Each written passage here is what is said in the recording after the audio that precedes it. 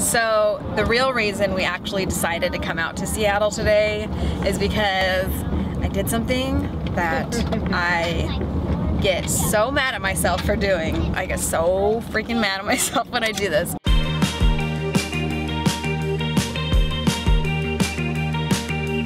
Man, I got it. Um, okay. Okay, feeling good. Feeling good. Piper is not in the mood this morning. She's ticked that we're going to the city. There's a, there's a ton of stuff you can do in Seattle that's cheap or free, and especially in October when it's beautiful fall weather, we're gonna get ice cream, we're gonna see one of our favorite parks, and hopefully go to the Ballard Locks. We love the Ballard Locks. So, this video is a really good example of a couple of fun things you can do in Seattle for free. I don't think we're gonna be spending much money besides on food. It makes for a really fun Saturday.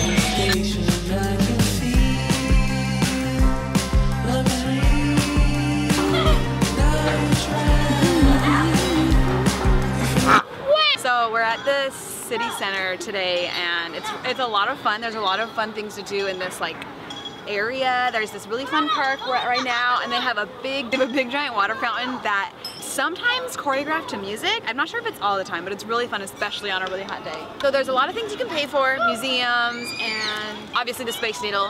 It's all very pricey. So if you're here on vacation and you're willing to like get that wallet out, like good for you. For us today, we're just coming to hang out and enjoy the nice weather. Um, so we're gonna see this and then we're actually gonna head out to Magnolia and Ballard to see some more of our favorites in Seattle. Porter says there's vomit on the slide Do you want now. do you want, it's not on the slide. By the slide. Do you want to go see? Do you want to go hang up there? Should I bring my wipes and go clean it up? No, not doing that. Not gonna be I'm ice not that cream. I think the ice cream is open. No, we're getting better ice cream though. Yeah, nice. Was that fast? Yeah. I know, right? That's fun. I love it so much. Gonna get wet, Mom. That's too We're small. not gonna get wet. So this is also where the Pacific Science Center is. That's really cool. This is also where uh, Chihuly Garden and Glass. So if you know Chihu- Chihuly glass sculptures, that's in this area. And then also this is where Key Arena is, the old, the old uh, famous like basketball arena. Climate Pledge Arena is right around here in Seattle City Center as well. So.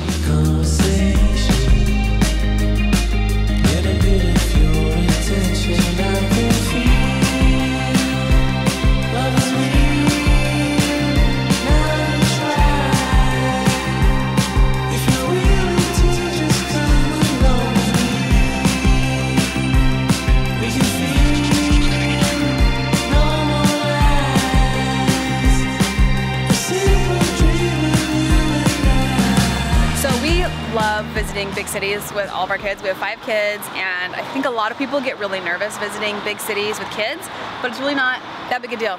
It's it's like visiting anywhere. You bring snacks, you watch out for people and cars when you're near streets and it's Yeah. it's a lot easier than a lot of people think.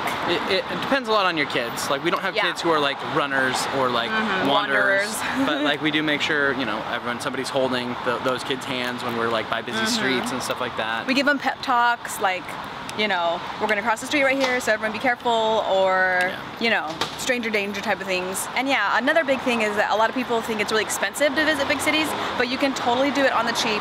You bring your own snacks, bring your own food, maybe budget for like one meal or one treat, and you just visit all the free things. Kids just wanna go to a fun park, they wanna go to the beaches. Um, Yeah. They love walking around, seeing big cities, and just feeling like the energy from the city, which those are the things we love to Yeah. do. And it's really fun. You guys should all do it. Yeah. One quick example of how we just saved like 18 bucks is the, the parking at the Seattle City Center is 20 bucks to park. But we know that there's like street parking around and we're here early enough, we thought we could get some. So I drove like a block up, parked on the street, it cost $2.06. We saved 18 bucks instead of just parking right there. So we dropped the kids off there so they didn't have to do a big long walk. I drove here, ran back over there. Yes, totally Yeah. good. So just stuff like that. Yeah, be smart.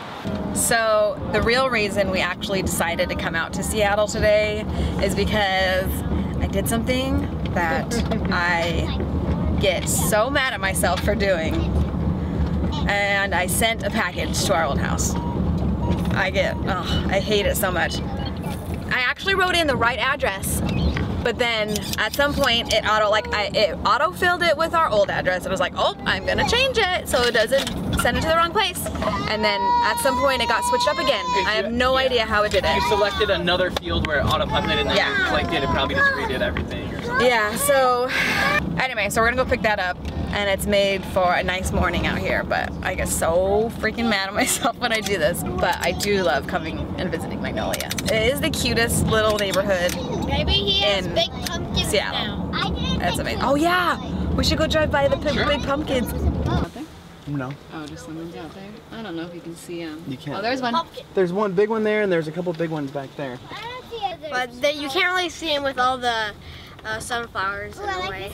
But those are big sunflowers. Big sunflowers, big pumpkins. I see it. Okay, here. You want me getting it? Camera and let them know that you.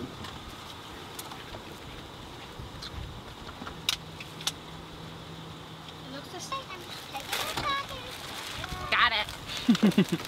Mission Mission accomplished. I was really worried that I would just forget. We would be having has so your name much on it? You fun. didn't take like one of their packages? No, I did not. Ballard is a really cute neighborhood in Seattle. It has all kinds of really cute shops and tons of amazing food. And it's just very, very charming. We love to come here for salt and straw ice cream. Super fun. It's our favorite. And they've got just lots of favorites around here. There's even like a little movie theater that's really charming with really nice seating. Anyway, Ballard is a really great place to come to to visit. Very walkable. Um, they have a really great beach called Golden Gardens that we love to come to out here. Why didn't we see So let's get some salt and straw. Let's get some ice cream. Frosting and a pumpkin spice ice cream. Black, black cat lic- licorice and lavender. Oh, I want to try that. Smells so good.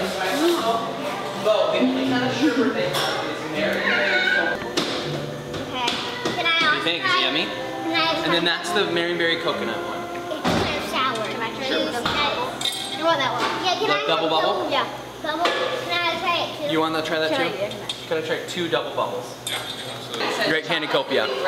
Great candy copia. Yeah. It's like a mixture of a bunch of candy It's like bars. all the different candy bars. Homemade. Okay. Is brownie.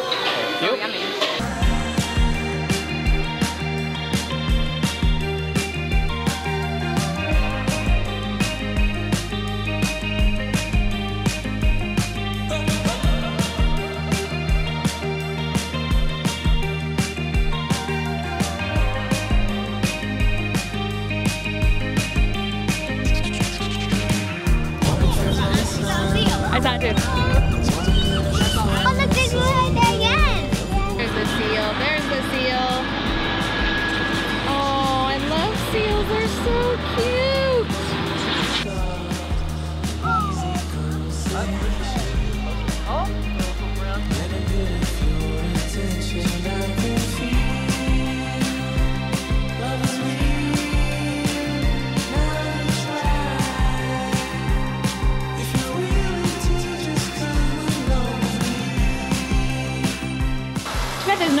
see. We'll have to come back when it's a better Look, there is season. one fish. Oh, one fish. Perfect. Was it a salmon?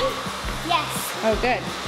Okay, so we're at the Ballard Locks, which is uh, basically a man-made structure that connects the seawater to the freshwater in Seattle, because there's an elevation change there. So boats will come in and they'll get lifted up to the height. It's kind of like the Panama, Panama Canal. We'll lift it up to the height of the other side or drop down.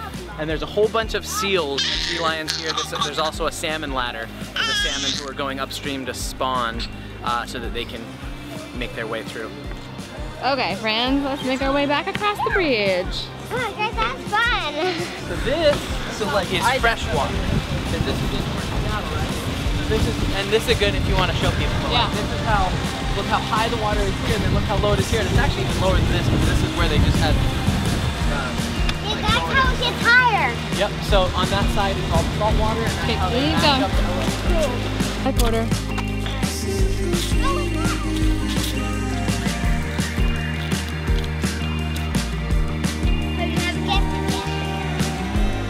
Okay, so we're back from Seattle. It was a really fun, very successful day. Again, we have so much fun going into Seattle as a family. There's a lot to do. There's a lot to do for cheap. There's a lot to do for lots of money. But today we just did the cheap stuff.